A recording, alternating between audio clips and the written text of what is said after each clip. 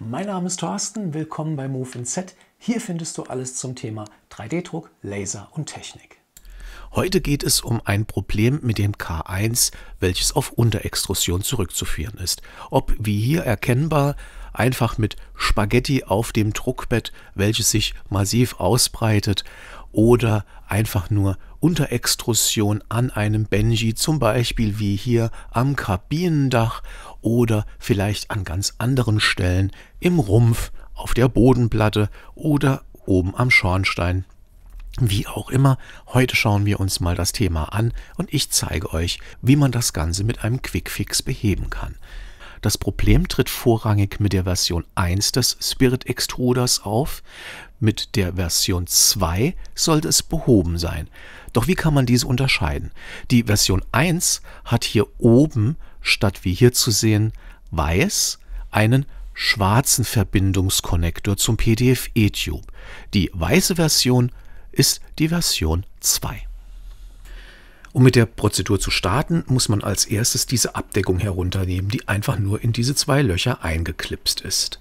Danach entfernt man diese kleine Halterung am PTFE-Tube und schiebt diesen Konnektor einfach leicht nach unten, sodass der PTFE-Tube nach oben herausgezogen werden kann. Im nächsten Schritt entfernen wir die Schrauben auf der linken und rechten Seite des Extruders.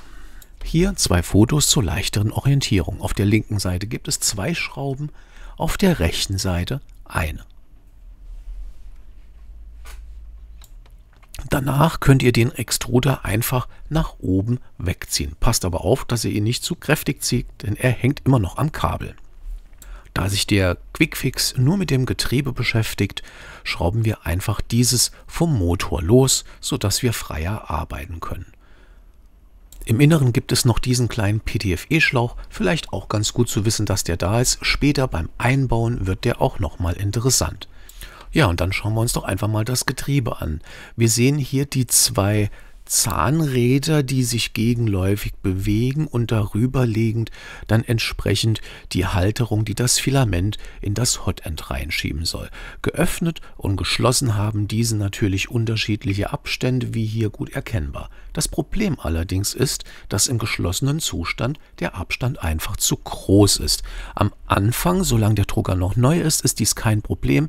Offensichtlich stellt sich hier aber irgendwie ein leichtes Spiel ein, warum es ab einer gewissen Zeit zu einem Problem kommen kann. Wie kann man das nun lösen? Nun, wir müssen jetzt einfach sicherstellen, dass der luftige Abstand zwischen den zwei Förderrädchen verringert wird. Hierzu löse ich einfach auf der rechten Seite das Förderrädchen, nehme es komplett weg lege eine kleine Unterlagsscheibe passend ein, die nicht zu hoch ist und schraube das Förderrädchen einfach wieder auf seine altbekannte Position. Hieraus ergibt sich nun ein leichter Höhenunterschied zwischen den zwei Förderrädchen, was zwangsläufig natürlich den Durchgang verringert. Heißt, der Durchmesser um das Filament durchzuschieben, ist nun deutlich enger als vorher und der Grip auf das Filament natürlich nun auch deutlich stärker. Beim Auseinanderbauen bzw. Zusammensetzen solltet ihr darauf achten, dass ihr dieses winzig kleine Kugellager nicht verliert, denn das zu suchen ist sicherlich nicht besonders spaßig. Ja, der Umbau ist im Prinzip jetzt schon abgeschlossen. Man kann nun den Kunststoffdeckel einfach wieder auf das Getriebe aufsetzen und montiert das Ganze nun wieder zurück an seinen ursprünglichen Platz. Ein kleiner Funktionstest zeigt noch, ob alles sauber funktioniert. Einmal öffnen, einmal schließen und dann baut man das Ganze einfach wieder ein. Zuerst setze ich den zuvor entfernten PTFE-Tube wieder ein. Dann befestige ich das Getriebe wieder am Motor. Übrigens, mein Akkuschrauber ist einstellbar auf 1 Newtonmeter, geht also hier nicht mit einem Gerät ran, welches wirklich Kraft produziert, sonst habt ihr die Verschraubung sehr schnell am Gewinde zerstört.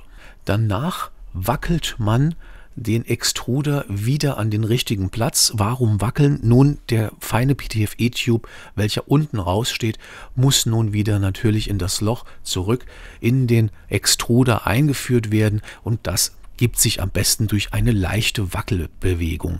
Dass alles richtig sitzt, erkennt ihr daran, dass tatsächlich die Schrauben seitlich links und rechts wieder eingeführt werden können, ohne Kraft aufwenden zu müssen. Ist hier ein Versatz zu erkennen, wackelt einfach noch ein bisschen weiter am Extruder, sodass dieser noch ein Millimeter runterrutschen kann. Danach ist die Installation überhaupt gar kein Problem. Kraft oder Druck in irgendeiner Form wird an dieser Stelle nicht benötigt. Ja, ein kurzer Testdruck kann uns nun zeigen, ob die Unterextrusion behoben ist. Und bisher sieht das doch schon mal ganz gut aus. Keinerlei Unterextrusion erkennbar, saubere Layer, Schichten absolut perfekt. So wünscht man sich das Ganze. Schauen wir uns das Benji fertig gedruckt an. Keine Unterextrusion an Rumpf, Kabine, Schornstein, Dach oder auch auf der First Layer. So soll es sein. Deine Meinung ist mir wichtig, drum schreib mir Vorschläge, Ideen und Feedback unten unter das Video in die Kommentare rein. Wenn du mich wiedersehen möchtest, klicke auf Abonnieren und danach auf die Glocke, um keines meiner neuen Videos zu verpassen. Wenn du direkt weiterschauen möchtest, schau dir mal dieses oder dieses Video an. Vielen Dank fürs Zuschauen. Bis zum nächsten Mal. Mach's gut. Ciao. Falls du mehr von mir sehen möchtest, schau doch mal auf meinem Instagram und Linktree-Seiten vorbei, suche nach Move in Z und bleibe mit mir in Verbindung.